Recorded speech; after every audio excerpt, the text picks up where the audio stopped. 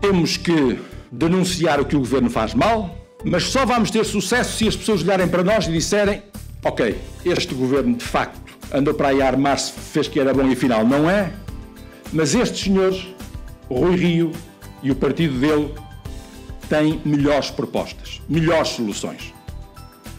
E é isso que nós temos um ano para fazer. Não basta andar a tirar pedras ao governo. E é isso que o Rui Rio está a querer fazer.